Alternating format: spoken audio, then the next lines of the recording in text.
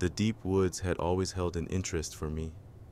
As a kid, I'd spent hours exploring the forests in my backyard, imagining grand adventures among the trees. So, when I found an untouched forest on an old map, I couldn't resist the call. The sun was setting as I parked my car at the edge of the woods. The air was crisp, filled with the rich, earthy smell of fallen leaves and damp soil. The trees loomed tall and dark, their branches twisting together like the fingers of skeletal hands. I put on my backpack, checked my flashlight, and set off on the narrow trail. As I ventured deeper, the sounds of civilization faded away, replaced by the rustling of leaves and the occasional call of a distant bird. The forest felt alive, a living, breathing entity. The further I went, the more oppressive the atmosphere became. The air grew colder, and a thick, musty smell began to permeate the woods, like decaying wood and mold. I came across an old, overgrown path, barely visible under the layers of fallen leaves. My map indicated this was the way to a long abandoned cabin. Intrigued, I decided to follow it. The trees seemed to close in around me as I walked, their gnarled branches forming a twisted canopy that blocked out the remaining light. My skin prickled with unease, but I pressed on, determined to reach the cabin before dark. After what felt like hours, I finally saw it, a collapsing structure nestled among the trees, its wooden walls blackened with age and covered in moss. I approached cautiously, the floorboards creaking under my weight. The air inside was stale and heavy, filled with the smell of rot and neglect. I explored the small cabin, noting the remnants of a long gone life a rusted stove, a broken chair, and a rotting bed frame.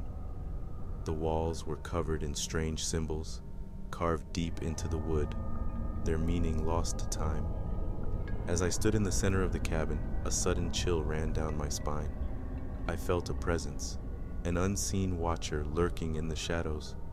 My heart pounded in my chest, and I turned on my flashlight its beam cutting through the darkness. The cabin was empty, but the feeling of being watched persisted. I decided to leave, but as I stepped outside, the forest seemed to have changed. The path I had followed was gone, swallowed by the trees. Panic set in as I realized I was lost. The once familiar woods now felt like a maze. I tried to retrace my steps, but the forest seemed to conspire against me. The trees twisted and turned, their branches blocking my path and snagging my clothes. Hours passed, or maybe it was minutes. Time seemed to lose all meaning. Exhausted, I stumbled upon a clearing, illuminated by the pale light of the rising moon. In the center stood an ancient oak tree, its trunk gnarled and twisted, covered in the same strange symbols I had seen in the cabin. A low, whispering sound filled the air, growing louder with each passing moment.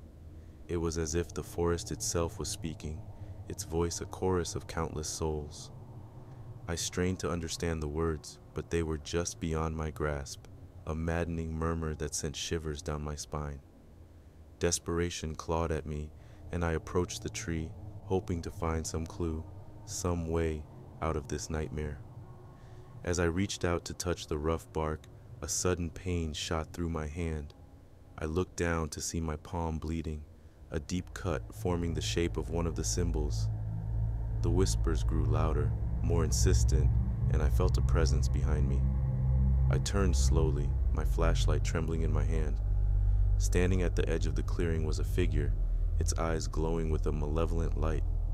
Who are you? I managed to choke out. The figure said nothing, but the whispers grew louder, filling my mind with a cacophony of voices. I fell to my knees, clutching my head, the pain unbearable.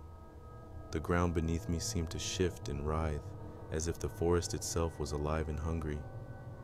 In a moment of clarity, I realized what the whispers were saying. They were calling me, beckoning me to join them. The forest wanted my soul, to trap me within its twisted depths forever. I fought against the pull, using every ounce of strength I had left. Summoning the last of my courage, I staggered to my feet and ran. The forest closed in around me, branches clawing at my skin, roots tripping me up. Just as I thought I couldn't run any further, I burst through the tree line and into the open. I collapsed onto the ground, gasping for breath, the cold night air filling my lungs. The whispers faded, the presence retreating back into the depths of the woods. I looked back at the forest, now silent and still, its dark secrets hidden once more. The smell of the forest lingered in my nostrils, a haunting reminder of the horrors I had faced. I vowed never to return, to leave the forest behind forever, but even now, as I sit here writing this, I can still hear them, faint and distant, calling to me from the darkness.